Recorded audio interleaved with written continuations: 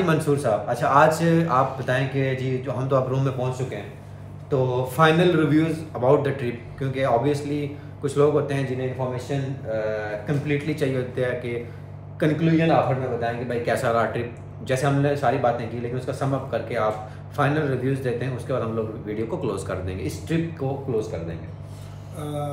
नुमान भाई मैं सिर्फ़ वीडियोस पे जो है ना अपने ट्रिप के ऊपर रिव्यू नहीं देना चाह रहा।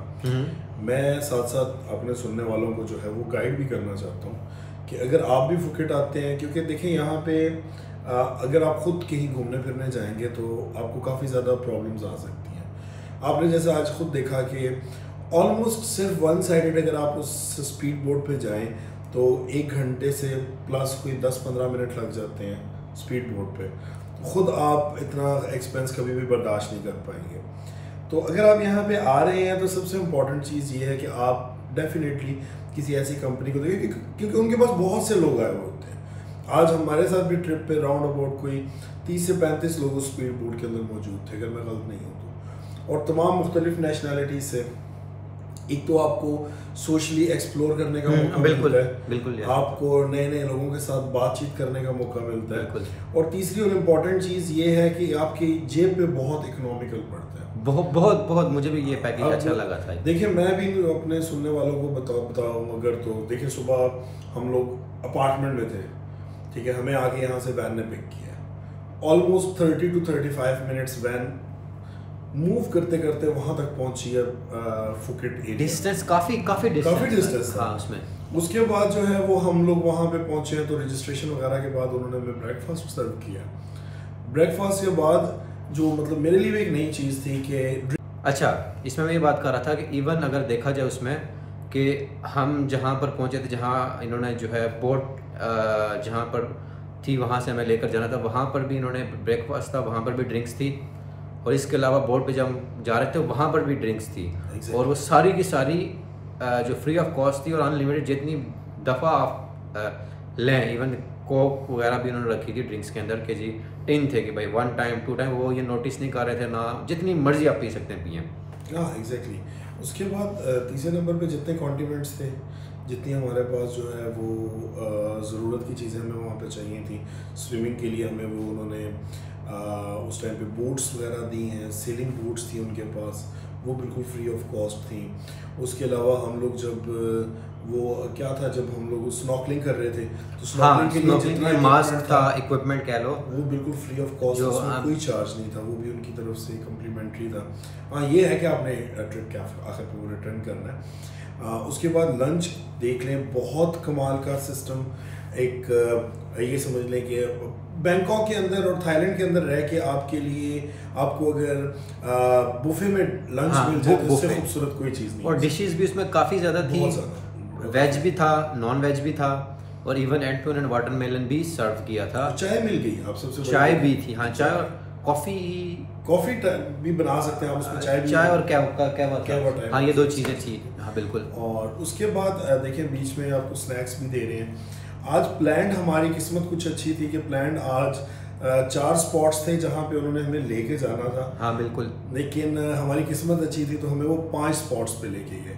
और अगर मैं पाँच में से इसको रैंकिंग वाइज आप मुझसे पूछे और मैं डिवाइड करूँ तो मेरे लिए स्नॉकलिंग बिल्कुल एक नया एक्सपीरियंस था। बिल्कुल मेरे लिए भी, आप अगर उसमें जब समुंदर के अंदर देखते हैं तो एक ऐसा व्यू है जो हमने बचपन में ये चीज़ें नेशनल ज्योग्राफी के ऊपर देखी हैं। लाइक मुझे जो फील हुआ था कि जैसे नहीं होता थ्री डी एनिमेशन जब आप जो है ना, अपना सर पानी के अंदर करते हैं ना वैसे फील हो रहा है थ्री डी एनिमेशन के आपको सब कुछ थ्री डी इवन आपको साथ वाला जो बंदा मूव कर रहा होगा, वो भी आपको नज़र आएगा बड़ा हो थ्री डी और नीचे, आप काफ़ी डिस्टेंस पे होते हो डेप्थ काफ़ी ज़्यादा होती है। आप ऊपर से देख रहे होते हो, यार, आपको तैरना भी नहीं आ रहा। आपने लाइफ जैकेट पहनी और आप नीचे देख रहे हो, और वो काफ़ी नीचे गिराई नज़र आती है। बड़ा यूनिक सा एक्सपीरियंस रहता है, और दरम्यान में आपको डिफरेंट किस्म की जो है ना फ़िश नज़र फिशेस नज़र आएँगी छोटी छोटी और काफ़ी किस्म की। तो मुझे भी सबसे अच्छा वही लगा था। और आई थिंक ये हमारा सेकंड लास्ट था लास्ट था। सेकंड लास्ट सेकंड लास्ट था स्नोकलिंग सेकंड लास्ट की स्नोकलिंग के अंदर मेरे लिए हम बचपन में बस नेशनल जियोग्राफी पे मुख्तलिफ़ प्रोग्राम देखा करते थे। जिनके अंदर हमें स्नोकलिंग जो है वो देखने को मिलती थी कि लोग समंदर के अंदर जाके डाइव कर रहे हैं और समंदर के अंदर उन्हें कोरल रीफ्स नज़र आ रही हैं उन्हें वहाँ पे डिफरेंट किस्म की जो सी क्रिएचर्स हैं वो देखने को मिलती अच्छा हैं। इसमें ना मैंने मेरा माइंड में था कि मैं जो है कुछ वहाँ पे ना वीडियो रिकॉर्डिंग करूँ बट प्रॉब्लम ये थी कि पानी बहुत ज़्यादा था इस वजह से मैं जो है ना अपना कैमरा वगैरह वहाँ पर लेकर नहीं जा सका। मेरा पूरा प्लान था था कि वहाँ पे आप लोगों से वो एक्सपीरियंस भी शेयर करूँ अनफॉर्चुनेटली हम लोग नहीं कर सकी। पहले नंबर पे अगर आप मुझसे पूछे तो पहला एक्सपीरियंस स्नॉकलिंग का आ जाता है। मेरा भी बिल्कुल। दूसरे नंबर पे अगर आप हम मुझसे पूछें तो मेरे लिए उस सॉल्टी लेक के अंदर जो मायावी के अंदर जो सॉरी जो हमारे पास सेकंड लास्ट के अंदर फीफी जो मिनी वाला था लेगून उसके अंदर जो स्विमिंग थी मेरे लिए फ़र्स्ट एक्सपीरियंस था बोट से जंप करके पानी के अंदर जाना। मेरे लिए दूसरे नंबर पे बेहतरीन जो एक्सपीरियंस था वो वो चीज़ थी। अब नुमान भी बताएँगे उनके लिए सेकंड पे क्या चीज़ आती है। दस यहाँ पर सेम फ़र्स्ट पे जैसे इन्होंने बात की मेरे लिए भी वही था। और सेकंड पे जब वो जंप कर रहे थे फ़र्स्ट टाइम मैं तो डर गया था मैंने नहीं किया। पहले मंसूर ने किया मैंने इसको देखा। हालाँकि इस- इसको भी स्विमिंग नहीं आती। तो इसके बाद जो है ना मैंने जंप किया और बड़ा मज़ा आया बल्कि बार बार मैं आता बोर्ड पे खड़ा होता जंप करता और काफ़ी अच्छा एक्सपीरियंस अब वो था। अभी बात इनकी बिल्कुल ठीक है। पहले पे वो हो गया स्नोकलिंग सेकंड पे ये तीसरे पे और मेरे लिए जो था वो माया बे था। ठीक है ओके माया बे बीच वाकई एक बहुत ही फेबुलस एक्सपीरियंस था। आप ये समझें कि जंगल में मंगल वाली बात है। आ, आ, बहुत खूबसूरत बहुत नेचुरल व्यूज़ थे। उन्होंने बहुत अच्छे तरीके से उसको डिज़ाइन किया और स्पेशली आज हमें वहाँ पे क्योंकि हम दोनों कैट पर्सन हैं तो हम लोगों को वहाँ पे कैट्स के साथ खेलने का बहुत अरसे बाद। मौका मिला। नुमान तो खैर अभी पाकिस्तान से यहाँ पे आए हैं। तो मैं मेरी कैब अपनी कैट को मिस कर रहा था पाकिस्तान के अंदर। तो मुझे कैट्स खेलने का मौका मिला। तो मैं तीसरे नंबर पे जो इसके अंदर लिस्ट में ऐड करूँगा, वो माया वे बीच है। जी मेरा जो तीसरे नंबर पे है जब फ़र्स्ट टाइम हम लोग गए थे जहाँ पर हमने स्विमिंग की थी बीच के किनारे पे, वो मेरा एक ऐसा एक्सपीरियंस था कि उन्होंने ऑब्वियसली वहाँ पर हमें वो मास्क दिया होता स्नोकलिंग वाला ही दिया हुआ था कि आप यहाँ पर जो है ना एक रिहर्सल ही कर लो या आप इसको यूज़ करके सीखोगे वर्क कैसे करता है। और मैं उसको रेगुलरली लेके स्विमिंग सीख रहा था। मुझे स्विमिंग का बहुत शौक है आती नहीं है मुझे कम्प्लीटली तो वो मैं लेके स्विमिंग कर रहा था और मुझे बड़ा मज़ा आया था पानी के अंदर रह कर और काफ़ी देर जो है ना। और वहाँ से मैंने थोड़ी बहुत सीखी भी है कि जिससे मुझे आइडिया हुआ है कि स्विमिंग के अंदर आप आगे मूव कैसे करते हो और ये वो। तो मैं काफ़ी देर जब तक हम लोग उस जगह पर थे नाम क्या था उसका? मैं नाम बोल गया जो फ़र्स्ट वन जो हमारी खाई खाई बीच। खाई बीच वहाँ पे। वहाँ पे मुझे है ना काफ़ी मज़ा आया था। मैं काफ़ी देर पानी पे रहा। हालाँकि मंसूर जो है थोड़ी देर पानी में आया और फिर बाहर जाके बैठ गया। वो मेरा तीसरे नंबर में मेरा बहुत मुझे सबसे अच्छा ये लगा था। थर्ड थर्ड पॉइंट पे मैं इसको कहता हूँ जैसे। हाँ, और फोर्थ पे मेरे पास अगर आप मुझसे पूछा तो मंकी बे था। बहुत छोटा सा बीच था।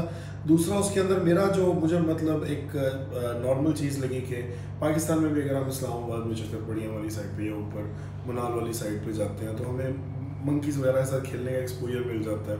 अगर आप बैंकॉक के करीब बानखाइन बीच जाते हैं तो वहाँ पे भी आपको मंकीज़ के साथ खेलने का एक्सपोजर हो जाता है। लेकिन ये वहाँ पे शायद हम कम टाइम के लिए रुके, वो क्योंकि जगह ही बहुत छोटी सी है। सेकेंडली हम लोग जाते हुए प्लान करके गए थे कि क्योंकि हमने वहाँ जाना और वहाँ पे बंदर है तो हम उन्हें खाने के लिए कोई चीज़ देंगे तो उन्होंने बाद में उसके लिए भी रोक दिया। शायद इसलिए मेरे नंबर मेरी लिस्ट में वो चौथे नंबर पे है। तो मैं जैसे इन्होंने कहा अब मेरा पॉइंट ऑफ़ व्यू मेरे चौथे नंबर पर जैसे इनका थर्ड था म्याम म्याम्बी वही था ना मायाबी। मायाबी। मायाबी बीच था। वो उसको जो है मैं जो है ना मायाबी बीच को फोर्थ पे रखता हूँ। वो इसलिए कि जो मेरी अपनी थॉट्स है कि हमें सबसे पहले डिफरेंट बीचेस पे लेकर गए। टोटल बीच थे। बीचेस के बाद एकदम आपको ऐसा फील होता है फॉरेस्ट में आ रहे हो और ऐसा लगता है कि आपका लिंक ही नहीं है। आप डिफरेंट से डिफरेंट प्लेस पे आ गए हो।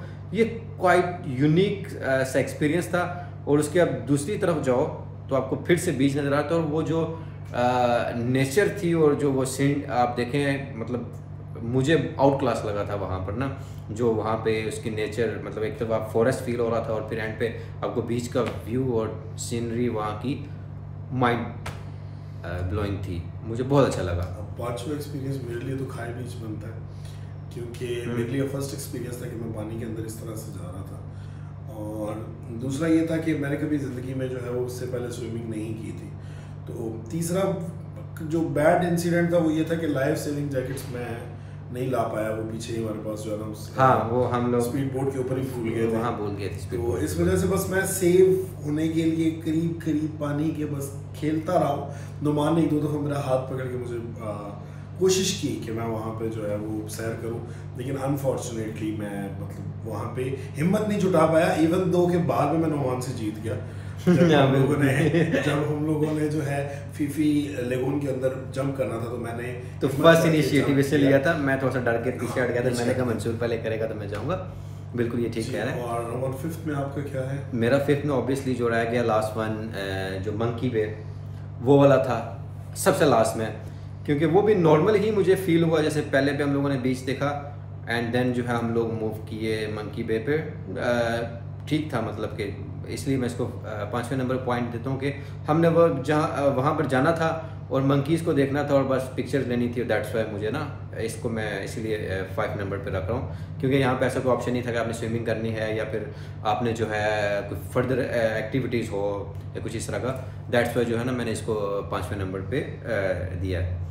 तो इसके बाद जो आपका वापसी का सफ़र होगा आपको ये डायरेक्ट जो है वो फिफी आइलैंड से जो है वो सॉरी माया बे से जो है वो वापस फुकेट लाया जाएगा। तो ये तकरीबन एक घंटा या एक घंटा दस पंद्रह हाँ। पंद्रह मिनट का सफ़र है। स्पीड बोट काफ़ी तेज़ी से चलती रहती है लेकिन आप वहाँ तक पहुँच जाते हैं। इससे आगे एक एक्सपीरियंस ऐसा हुआ जो शायद हमने हम हमारे लिए प्लेजेंट नहीं था। वहाँ पे कुछ हमारी पिक्स वगैरह ली गई और एट द एंड हमसे कहा गया कि अगर आप इन पिक्स को परचेज करना चाहते हैं तो आप उसके लिए जो है वो 800 बात जो है uh, करें। जो है ना, expensive वो था, बहुत ज़्यादा मतलब एक्सपेंसिव हो जाना था। चार पिक्स के लिए 800 जो है वो बहुत ज़्यादा था। तो एक वो चीज़ फिर एट द एंड उन्होंने मैं बस एक बस एलोकेट की कार वो कोई हाईएस्ट टाइप बहुत अच्छी एसी जो लास्ट में हमने वीडियो में दिखाई हाँ, गई है जो एग्जैक्टली जब हमने ड्रॉप किया। जो है वो रेस्टोरेंट पे ड्रॉप किया उसके बाद हमने थोड़ा सा रेस्ट किया है। रेस्ट करने के बाद फिर फुकेट की नाइट लाइफ है। अब हम लोग जो है इस टाइम पे सोएब बंगला रोड जा रहे हैं। पतौंग के अंदर बहुत फ़ेमस है नाइट लाइफ के हवाले से। काफ़ी बार्स और रेस्टोरेंट्स हैं वहाँ पे। अब हमारे साथ एक लिमिटेशन है हम उसमें हम ड्रिंक वगैरह नहीं कर सकते स्मोक वगैरह हम नहीं करते।